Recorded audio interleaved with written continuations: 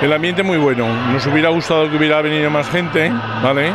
Porque ya hemos comentado en alguna otra ocasión, eh, el esfuerzo, el trabajo, la dedicación, la ilusión, el compromiso, todo.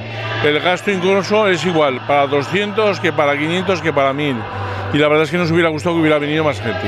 Ahora mismo estoy súper contenta porque ya está llegando a mitad la gala, ya casi al final y bueno, ha, estado fenomenal todo el día, la gente muy contenta, nos ha salido muy bien eh, pues lo que ha sido la comida, porque claro, al, estar tanta gente pues teníamos un poco de miedo, pero bien, la gente muy a gusto, eh, muy, bien, la verdad es que bien y ahora con las actuaciones pues también bien.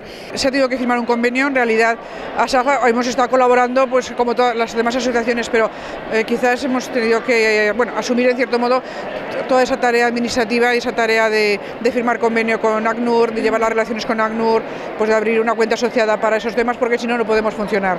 Si no tenemos pues, bueno, el permiso de, uso del logotipo del Comité Español de ACNUR, ese tipo de, actuaciones pues las, las hemos llevado desde Asafateruel.